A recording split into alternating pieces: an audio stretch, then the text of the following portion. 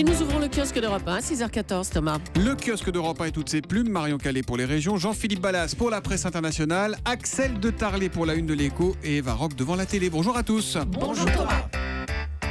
On commence avec vos quotidiens nationaux. Le geste fou d'Andreas Lubitz fait la une du Figaro ce matin. Ce copilote que l'on voit en photo, souriant, détendu, qui voulait en finir comme le titre aujourd'hui en France. Le journal lui consacre un portrait. Il était la gloire de sa petite ville, Montabaur à une heure de Francfort. Il est en passe d'en devenir le paria à titre posthume, la honte. Le Monde lui a interrogé d'autres salariés de la Germanwings. Il raconte une compagnie à l'ambiance très familiale où tout le monde se connaît. Beaucoup connaissait personnellement quelqu'un qui travaillait sur l'appareil qui s'est écrasé, témoigne euh, une de ces personnes.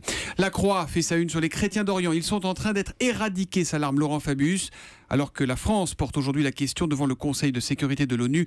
On en parlait tout à l'heure dans le journal de 6 heures avec Hélène Zélani. Enfin, l'humanité comme les échos font de la politique. Le quotidien économique qui pose les quatre inconnus du scrutin. Quelle abstention Quelle ampleur pour la vague bleue La gauche peut-elle limiter la casse? Enfin, le FN décrochera-t-il un département? Réponse dimanche soir. Marion Calais, les quotidiens régionaux font également presque tous leur une sur leur crash ce matin encore. Oui, terrifiant, fou, voilà les mots que l'on retrouve à la une ce matin. Le Havre Presse parle de son côté de l'odieux crime commis par euh, le copilote allemand de 28 ans. Les élections départementales aussi euh, à la une. Et pour euh, Centre Presse, le journal de l'Aveyron, le premier enjeu du second tour, ce sera la participation.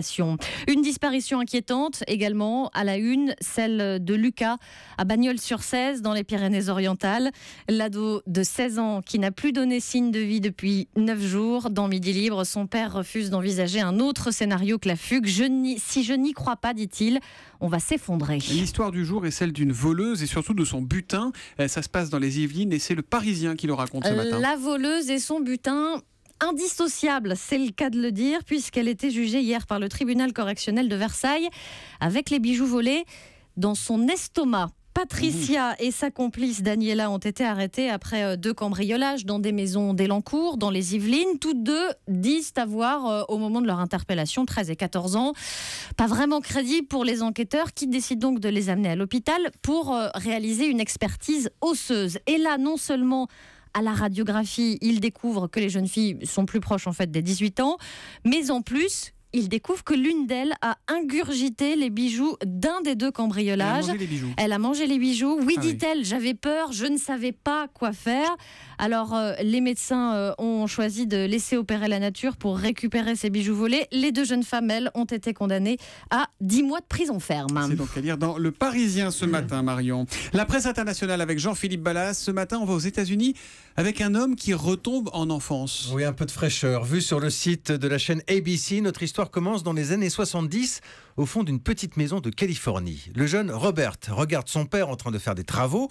Il y a un petit trou juste là dans le mur. Et Robert a une idée. Si je glissais dedans une petite capsule, un message pour mmh. le futur. Ni une ni deux, le gamin prépare son trésor, quelques pièces de monnaie, une carte à gratter qu'il a eue au McDo du coin, et puis une petite lettre pour se présenter. Le garçon met tout dans un sachet, il le dépose à l'intérieur du mur sans rien dire à personne. Son père rebouche le trou.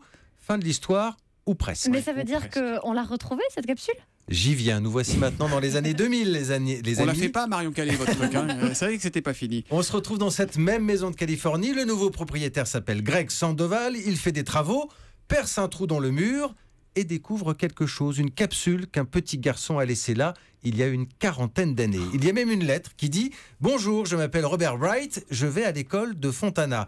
Greg finit par raconter l'histoire à une chaîne de télévision locale qui en fait un reportage, reportage diffusé jusqu'au Texas. Le Texas, où vit désormais l'auteur de la lettre, Robert Wright. L'ex-gamin est devenu un homme d'une cinquantaine d'années qui reconnaît immédiatement sa capsule. Et il est allé la récupérer personnellement en Californie, dans son ancienne maison, accompagné de son père, toujours vivant. C'était surréaliste, raconte Robert. J'étais très ému, je ne pensais pas revoir ce truc un jour une jolie fin qui lui a donné des idées parce qu'il va préparer deux capsules avec ses deux garçons de 8 et 9 ans, un trésor qu'ils cacheront à leur tour dans leur maison.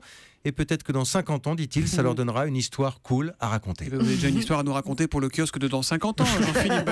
En tout cas, ça veut dire que McDo existait déjà il y a 40 ans, hein. Absolument. C'est fou ça. Il n'y a pas un truc comme ça dans Amélie Poulain là, Elle Oui, découvre un exactement. truc derrière la plainte. Exactement, dans Amélie Poulain. Voilà. Merci Bruno Kras. Euh, on va parler économie à la une de l'écho avec vous, Axel de Tarlet. Chaque Mhm. Français produit 530 kilos de déchets chaque année, une demi-tonne. Étude à lire sur le site d'Eurostat. Oui, Eurostat qui est allé fouiller les poubelles de 500 millions d'Européens et il y a beaucoup de détritus. Alors c'est différent selon les pays. Euh, nous, on est un peu au-dessus de la moyenne européenne. hein. C'est beaucoup quand même, 530 kilos. Je ne sais pas si vous vous rendez, ça fait que 1,5 kg par personne par jour de déchets. hein. Voilà, C'est énorme. hein. Voilà, ouais. plusieurs fois son poids. Alors en revanche, euh, la moyenne européenne est à 430. En fait, les anciens pays d'Europe Euh, centrale. kilo et demi, plusieurs fois son poids, vous êtes léger. Pas hein. compris. Non, ouais. par, par an, Ah, par an, oui, 530 d'accord, kilos par an. Ah Voilà. D'accord, d'accord. Ah bah oui, plusieurs fois. Plusieurs fois.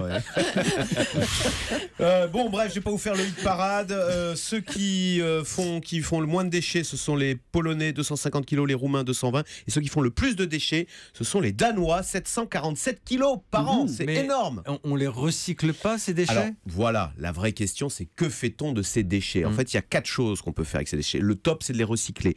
Deuxième chose qui est pas mal, c'est de les composter. Troisième chose moins bien, c'est de les incinérer. Et la chose la plus nulle, c'est de les enterrer. Voilà.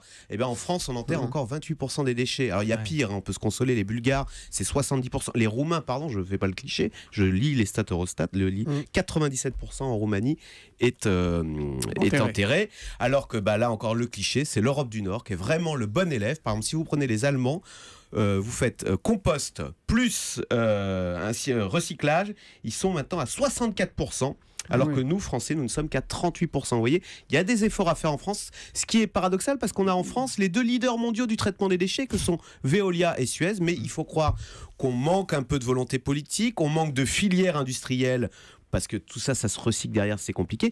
Et puis, euh, on manque peut-être un peu d'organisation. Je crois, moi, je connais pas très bien l'Allemagne, mais on vous explique qu'en Allemagne, on a quatre ou cinq Il y a beaucoup de poubelles. poubelles. hein. Voilà, voilà, et ils sont très disciplinés là-dessus. Peut-être qu'il y a un peu trop d'emballage aussi des industriels. hein. Il y a peut-être moins de déchets s'il y avait un peu moins Oui, d'emballage. mais alors il y en a de moins en moins, et c'est pour ça que les déchets, ce 530 kilos, ils baissent. hein. En 10 ans, le- les déchets par euh, habitant en Europe ont baissé de 10%. 9%. Axel de Tarlet pour la une de l'écho. La TNT a 10 ans et va fêter les 10 ans de la TNT à 20h50 sur la TNT Énergie 12 et, Oui, rock. 10 ans déjà. hein. De- en 2005, il y avait sept nouvelles chaînes qui débarquaient sur vos écrans, des chaînes gratuites. Alors Direct 8, NT1, W9, Gulli, iTélé et BFM pour l'info, et Énergie 12. Et c'est cette dernière chaîne qui a choisi de fêter cet anniversaire avec des bêtisiers et des quiz Mmh. présentés par Anne Gaël Richaud et Emmanuel Lévy. Alors on va voir si vous connaissez bien ces chaînes. On commence avec vous, Marion. Quelle émission a débuté le 1er avril 2010 et c'était pas un poisson sur une chaîne avant d'être transférée sur une autre? Ça- D'après vous y Non plein. Alors, on fait- Bonsoir à tous, merci d'être avec nous sur France 4 pour ce nouveau rendez-vous. Touche pas à mon Ah, poste. oui. Eh oui, c'était le 1er Hanouna. avril Ah, c'était 2010. sur France voilà. 4, Et, et oui, c'est au début, en deuxième partie Il n'y de a que soirée lui sur pour France commencer 4. le 1er avril. hein. Exactement. Julie, si je vous dis Mm. France 5, duo, santé et fou rire. Ah bah oui, Oh. alors c'est Ah. Marina et, et le docteur Silas. Exactement, c'était le magazine, le magazine de la santé. Il en fait, ça Feuilleter avait un peu été- avec Julien, des questions c'est Oui, faciles. hein. non, mais ça avait été lancé en 98 en fait sur la cinquième. Alors je vous ai prévu un petit extrait d'un fou rire évidemment avec Thierry Lhermitte. Il était invité donc de Marina Carrère d'Ancos et Michel Simès qui lance un appel à témoins pour une émission sur le manque de confiance en soi. Thierry, vous pourriez être témoin d'ailleurs. Oui, oui, oui. j'ai vous avez jamais surmonté- eu, euh, J'ai surmonté, ouais, grâce à la, C'est fort. Grâce à quoi Grâce à quoi à la philatélie, À la philatélie. collection de timbres. Oui, ça j'ai compris, oui, on parle français. hein, C'est- les gens savent plus que c'est. hein, Si, si, si, si, si, La philatélie. Bah, donc c'est pas la peine de nous appeler, puisque nous avons un témoin. Et il y a eu un fou rire mais mémorable pendant deux minutes à, à l'antenne, mais c'est récurrent euh, sur France 5. Jean-Philippe, selon un sondage réalisé cette semaine, quelles sont les trois chaînes de la TNT préférées des Français? Euh. BFM, Oui, elles sont Des- deuxième. D8, En premier, W9 ou Gulli Euh, non, c'est France RMC 5. Découverte France Ah, 5, France ouais. 5. En fait, c'est Ah, on D8 prend la 33%, BFM 33% et Mhm. France 5 27%. Mhm. Axel, vous êtes prêt Oui. Quelle est cette série? Oh, Friends, Oh, Friends.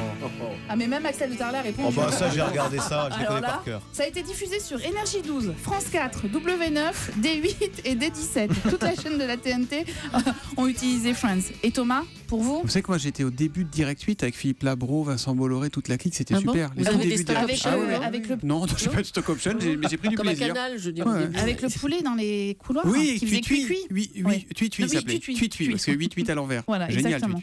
Et alors on va voir si vous connaissez notre chaîne. Ce programme est diffusé tous les samedis soir sur W9 et il rassemble un million de téléspectateurs en moyenne. Euh, ah, il n'y a pas d'extrait? Non, il n'y a pas Moi, Je sais d'extrait. pas, les, les ch'tis de la princesse débile qui est moche et qui cherche un postulant, c'est non, ça. c'est pas ça Vous allez voir. C'est fini. Je me réjouirai plus à l'avance Oh des non. Ah, ah non, oh, les Simpsons Ah, Qu'est-ce que vous avez dit? Mais oui, c'était les Simpsons. Bah, La voix, on la reconnaît. Et alors, si vous voulez revivre toutes les premières minutes de la TNT, vous allez sur le site europe1.fr, vous allez revoir tout ça. Et c'était déjà il y a 10 ans. Et on dit bon anniversaire à qui? À Homer? Non, à Tuitui.